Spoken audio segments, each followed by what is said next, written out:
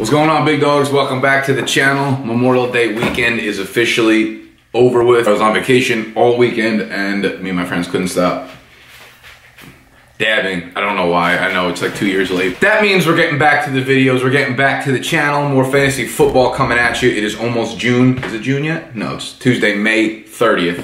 But we're almost officially into the summer season. So I want to kick off my series. I'm going every single NFL team, breaking down their fantasy football outlook for 2017. Today, we are going to kick it off. Number one on the list, the first team in the entire series in the NFC East, the New York Football G-Men. Now, what I'm going to be doing throughout the series is breaking down their entire offense in a fantasy perspective. Quarterback situation, the running back situation, wide receivers, tight ends, anything that's fantasy relevant is what I'm going to be doing. I'm going to be taking my own takes on every single team and every player that's relevant in fantasy. G-Man. Now, just a reminder, these videos, I'm doing a blog post as well for every single one of them. So any of these videos that you want to watch can also be found in written form on the website, which I'll link in every video below. And if you're not following me on Twitter, make sure you go do that. It's at BDGE AT Fantasy. And I know this is pretty early in the off season, so things are definitely going to change, but I did my best to kind of give my perspective on what it is now. And I have 32 of these to write, 32 of these to record, so I figured I had to get started. And I already have about 20 of the blog posts written. I haven't published any of them, but I want to go day by day doing a new one every day.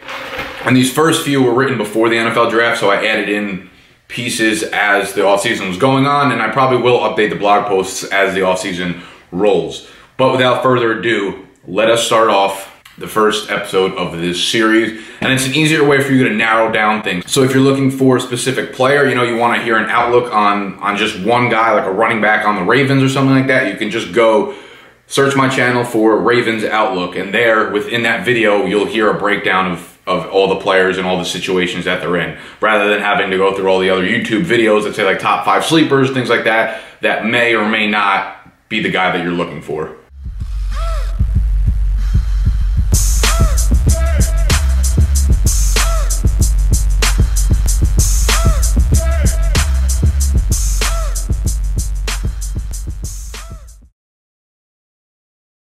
All right, so let's kick it off. Quarterback position in New York, we have Eli Manning, top 10 fantasy quarterback 2014, 2015, took a huge step back in 2016, finished as QB 21, was tied for fourth in the NFL with 16 interceptions. Uh, he's always pretty high up there in those numbers, but he didn't look good last year. He had erratic throws all over the field. He was not managing the game well, and it showed pretty big. And and you can't blame the O line because they were actually the second ranked offensive line per Football Outsiders. Let me see. He was ranked 24th amongst quarterbacks in completions per aimed throw. And uh, a quote from Ben McAdoo was straight up, Eli needs to do a better job of playing with fast feet. I think he needs to sit on that back foot in the pocket. It's, it's not good when, uh, you know, the quarterback starts getting older and their form starts breaking down. That's usually something you'd see in first or second year quarterbacks, not towards the end of your career. That's usually a sign of decline in physical play and physical performance.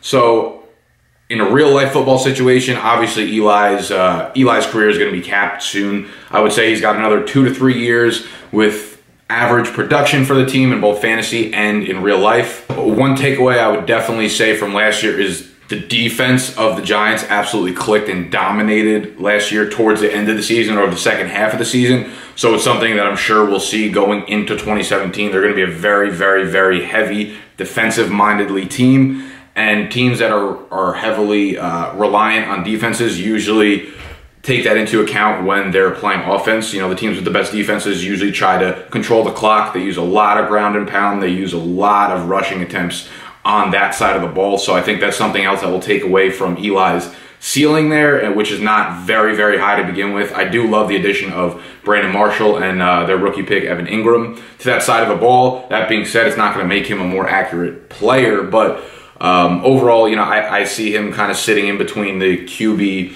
12 to 16 range in fantasy for 2017.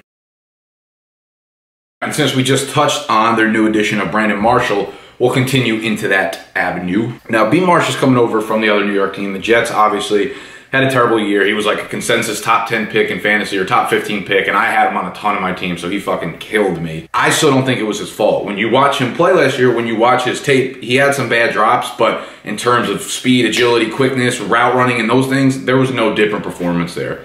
He's 33, so he's getting up there in age, but I still didn't see anything that says to me his physical capabilities or his play is on the down slope. The key stat, if you're going to take away anything from this or anything I say about Brandon Marshall all offseason, is that 44% of his throws to him last year, 44% of the targets he got to himself last year were catchable. Were deemed catchable by, I think, Pro Football Focus. What are you going to do? If you're getting 130 targets, sure, from the outside, you could say the volume is there, he should have produced. But if, if less than 50% of those balls are catchable, what are you supposed to do in a fantasy fantasy perspective of things? Like there's nothing to do there. So, you know, when you look at the Giants, they haven't had a real elite red zone target like Marshall since Plaxico Burress back in the day before he shot himself out of the league. And him and Eli were they were nice together, especially near the end zone, especially near the red zone in that 10 zone. And that's a that's a term I'm going to be using I'm stealing from the fantasy footballers. Instead of talking about the red zone, we're going to be talking about the 10 zone. So anything from 10 into the goal line. You know, I, I definitely don't see B Marsh getting back to his elite years of, of 1,400 yards or anything like that. But I think a double digit scores is is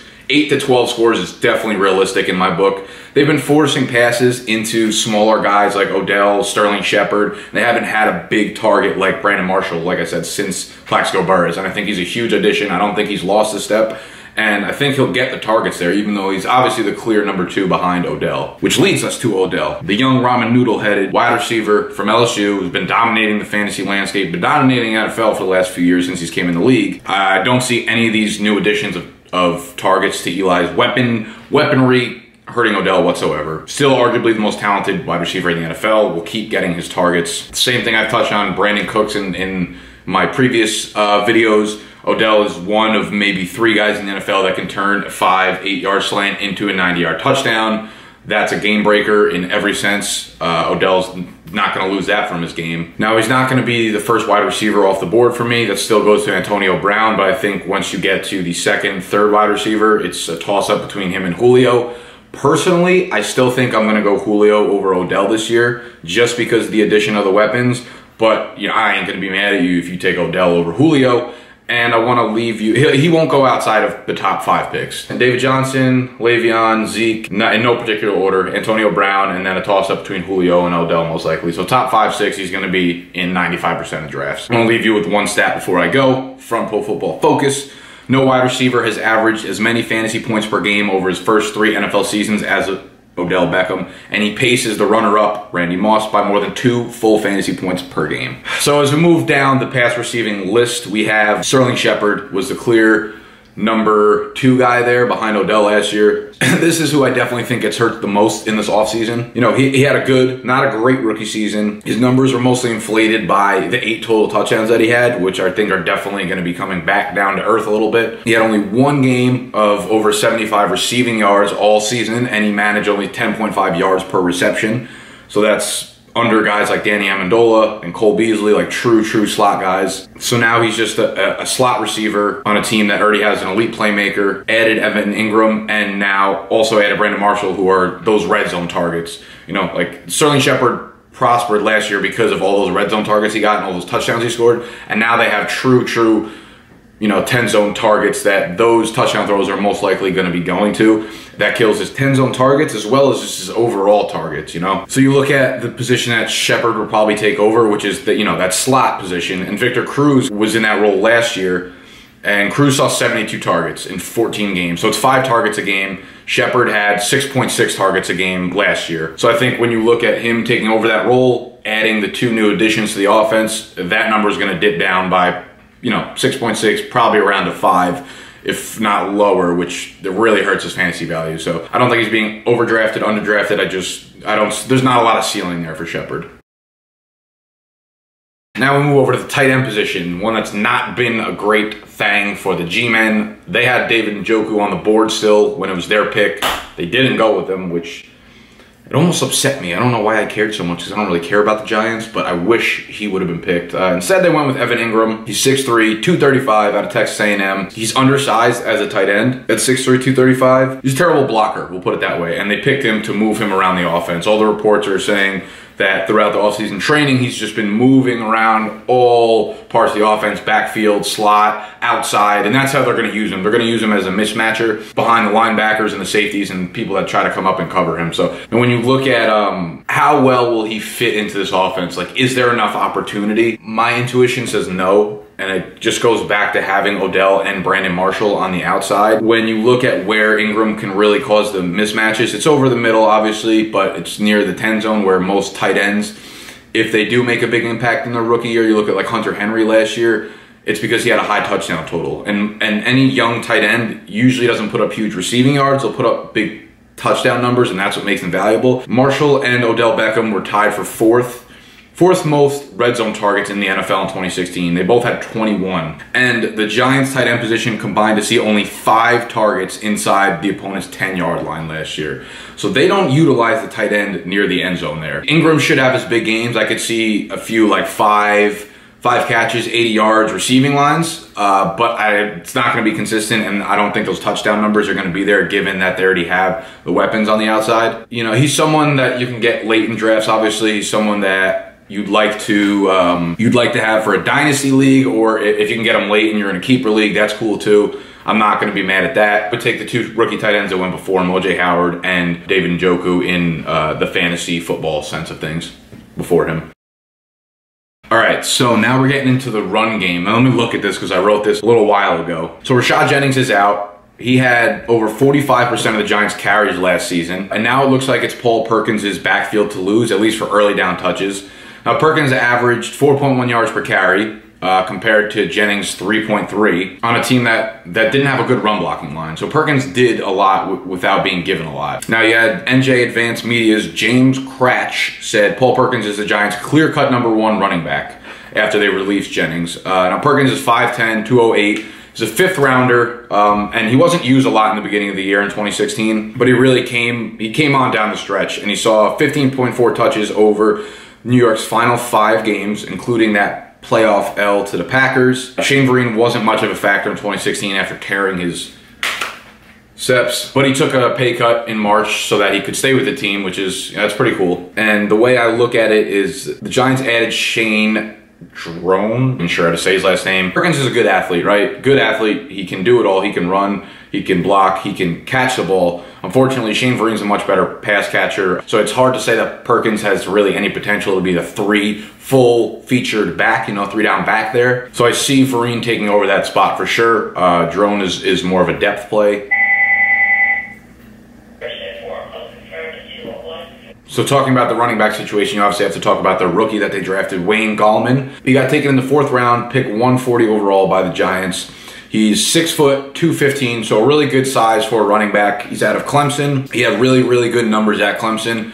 He's not a great athlete. Ran a four 4.640. He's more of like a grinder kind of guy. He uh, he'll he'll push for extra yards. He doesn't make guys miss. He's not great at avoiding tackles. He'll he'll add those one or two extra yards after contact that keeps kind of rolling forward. So the way I see Gallman, you'll hear articles all this is this goes for any rookie running back in the age of Twitter and in the age of blogging, when it comes to fantasy football, you'll hear hype about every single. You'll you'll hear a sleeper article about every single rookie running back drafted this year in the draft. Wayne Gallman, not excluded. In my opinion, he's not a great running back. Uh, after watching him play a little bit, after watching a little bit of his tape, he's someone that they may use near the goal line because Perkins is a little undersized compared to Wayne Gallman. I'm to look up some the 10 zone stats for Perkins right now. So Rashad Jennings had seven carries inside the five, turned three of them into touchdowns. Shane Vereen had three. Orleans Darkwa three. Paul Perkins only had one carry inside the five yard line. So it looks to me, obviously, he didn't get a lot of play in the beginning of the year, but it looks to me like they're not going to be using Perkins too much down by the end zone. So what you have here is basically Perkins as the early down back, Shane Vereen as the pass catching role, and then Gallman's kind of like a, a, a, breather for Perkins and possibly the goal line back. We'll have yet to see what they what they want to do down there. We'll look up some ADPs right now so we could talk about this. Paul Perkins is going 80th overall as running back 30 right now.